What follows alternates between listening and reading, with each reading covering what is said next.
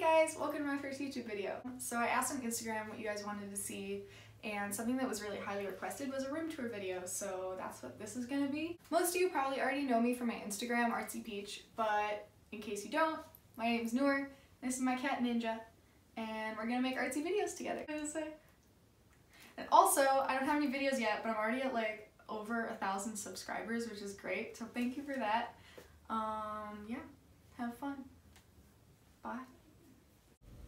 So this is my room and workspace. I've only been in this space for about a year, but I'm slowly adding things and furnishing it to make it my own.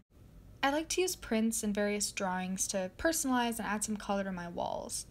A print wall is something that's super easy to redo or change, and honestly, it's one of my favorite parts of my space as a whole.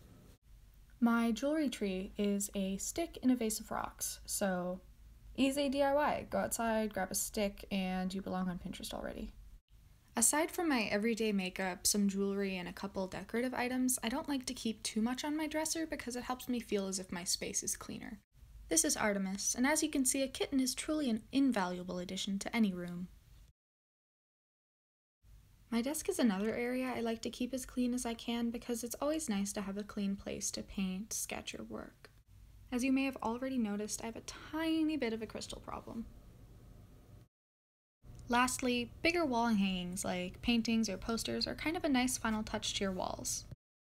And that's about it for today. Uh, thanks for tuning into my first video, and Ninja says thank you as well.